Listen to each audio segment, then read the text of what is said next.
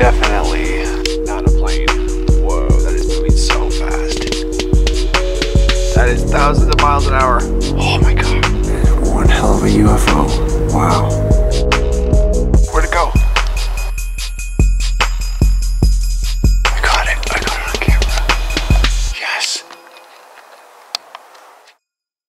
Hey everyone, this is Michael at The Vast Experience. Today we're going to be looking at a UFO video and we did an interview style and it's based around last Sunday.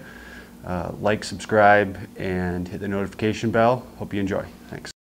So today is uh, August uh, 12th, I think.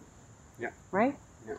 And we've had some really cool, I shouldn't use the word vast, vast experiences um, over the last month. A lot of sky watches and nature walks and really cool experiences. Sunday was a full day, a wide variety of experiences. And the day started with uh, I did a, a past life regression on, on a friend of ours.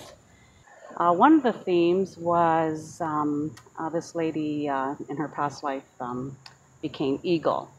And the interesting thing was on our nature walk, uh, we saw an eagle in the tree, and it was fascinating. Mike took a picture of it, and um, it was there for a long time. It wouldn't budge, it wouldn't move.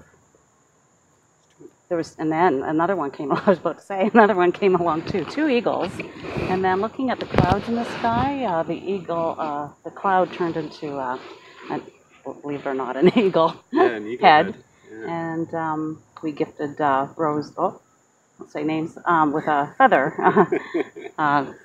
because it seemed appropriate that we do that because of the eagle experience. And then our friend had to leave um, for the day, so uh, Michael and I uh, left and went to Tim Hortons and had some good conversation about our own personal experiences from the past uh, that we've um, had, and uh, just the benefit of being able to share these experiences and how good that feels because a lot of this information we tend to keep to ourselves and can't share because not a lot of people understand um, these situations. So it's been wonderful to do that. Um, so then after that, we went to another park in London, and uh, we had um, another set of cool experiences that were very unique, uh, especially for me. And uh, I think the first thing uh, Michael noticed was a craft up in the sky, really high up, and he was able to get uh, video footage of it. I could barely see it; it was a tiny speck, but it was moving in different directions.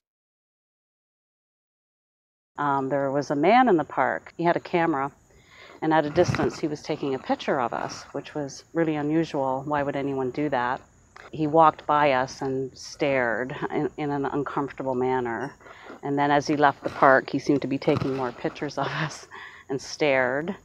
And um, around that time period, a black helicopter also flew over that was unmarked. That was a new experience for me. I really wasn't scared. I didn't feel nervous. I felt he's very got strong, no, so that's that's good. no anything on him. Wow, that's. Get the f out of here. And then on the way out, um, this was uh, like the second time in my life we I saw, uh, we saw a big white orb above us um, as we were leaving the park, and it was motoring along. it had a cute kind of feeling to it, energy to it. Um, and it was a big orb. I saw it with my own eyes, not just a camera through a camera lens. So that was a new experience for me. So overall, I've had some grand experiences the last month or so, and I look forward to many more.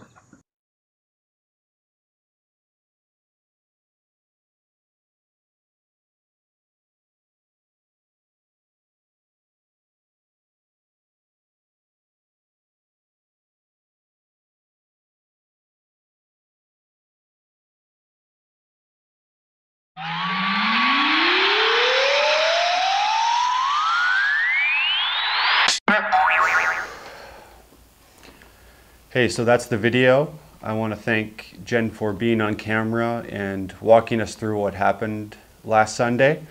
And I want to thank Martin for, you know, editing and helping out with everything today. He's been really great. Um, yeah, don't forget to like, subscribe, and hit the notification bell.